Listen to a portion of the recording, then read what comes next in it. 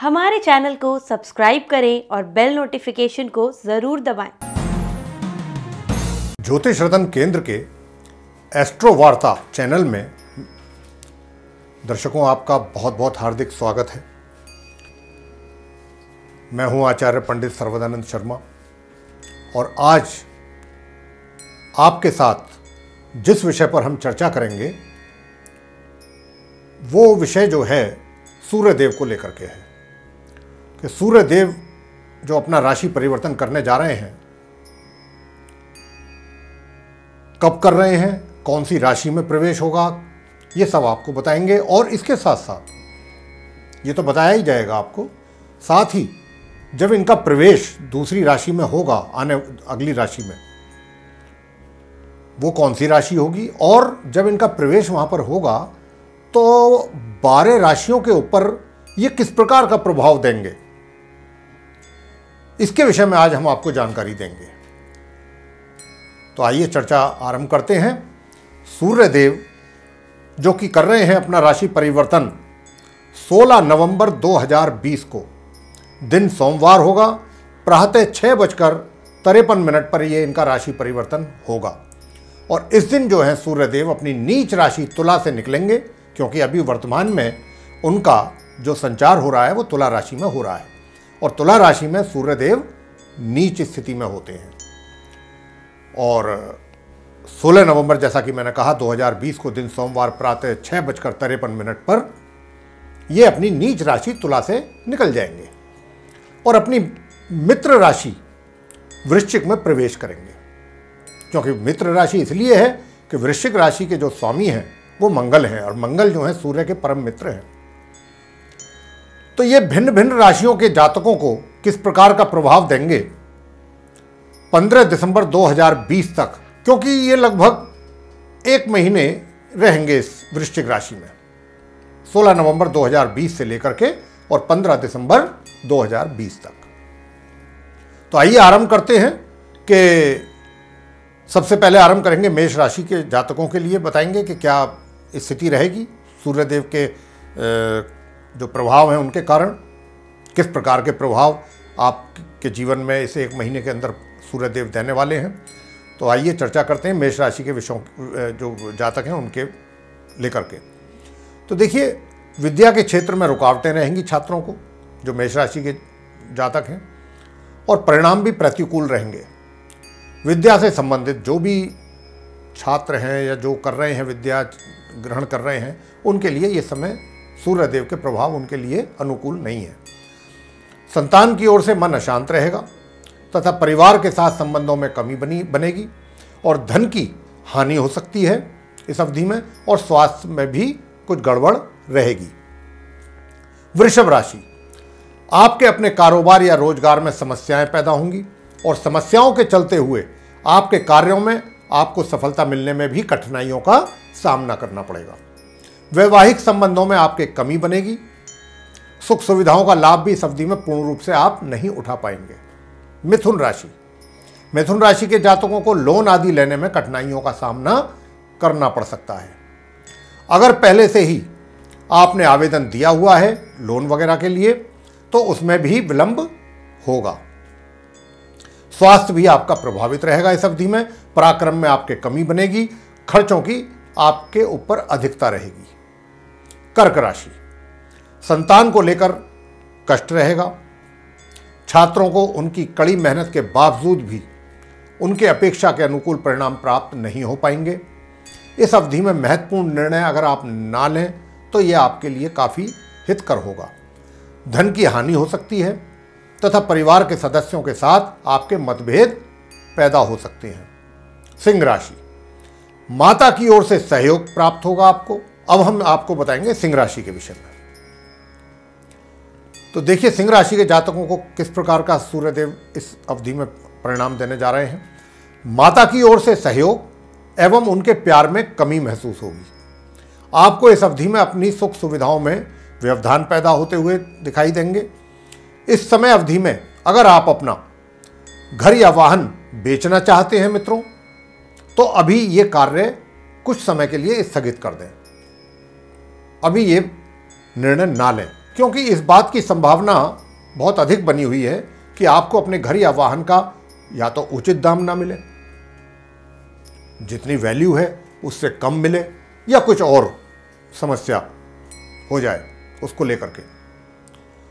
कन्या राशि, आपका अपने पराक्रम में कमी बनेगी, आपका आलसी स्वभाव बनेगा इस अवधि में, यात्राएँ लाभकारी नहीं हो पाएँगी छोटी मोटी बीमारियाँ आपको परेशान करेंगी। भाग्य का पूरी तरह साथ आपको नहीं मिल पाएगा तथा आपको अपने रोज़गार या व्यापार में भी नित्य प्रतिदिन नई नई समस्याओं का सामना करना पड़ सकता है, जिनके कारण सकारात्मक परिणामों की प्राप्ति आपको नहीं हो पाएगी। तुला राशि। इस एक महीने में आपके आय से अधिक खर्चे भी हो सकते हैं। आय में कमी होगी। कहने का भाव यह है कि इस अवधि में आपको जितनी बढ़िया आय होनी चाहिए थी, उसमें कमी या बाधा आप महसूस करेंगे। मित्रों की ओर से भी आपको सावधान रहना चाहिए। उन पर आँख बंद करके विश्वास ना करें। स्वास्थ्य में भी आपके कुछ कमी रह सकती है। वृश्चिक राशि, आपको अपने रोज़गार एवं व्यापार में कठिनाइयों का तो सामना करना ही पड़ेगा। इस अवधि में साथ ही आपके अपने कार्य क्षेत्र में भी जो कार्य करने हैं आपको, जो आपने प्रोजेक्ट्स हैं, जिम्मेदारियाँ हैं, जो अपने हाथों में लिया हुआ है, जिनको आप, एज ए टास्क कर रहे हैं या करना है तो ऐसे सभी कार्यों को पूरा करने में विघ्न बाधाओं का भी सामना आपको करना पड़ेगा।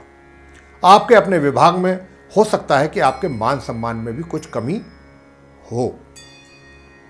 धनुराशि अगर धनुराशि के जातक विदेश में रहकर अपना रोज़गार आदि कर रहे हैं तो उनके कार्यकाल को आगे की ओर बढ़ने में या बढ़ा, बढ़वाने में अगर वो अपना और समय आगे बढ़ाना चाहते हैं वहाँ पर रह करके, जिसको वीज़ा कहते हैं, वीज़ा अपना और ज़्यादा लेना चाहते हैं तो उसमें उनके कार्यकाल को आगे की ओर बढ़ने में थोड़ी समस्या आ सकती है, बाधाएँ आ सकती हैं।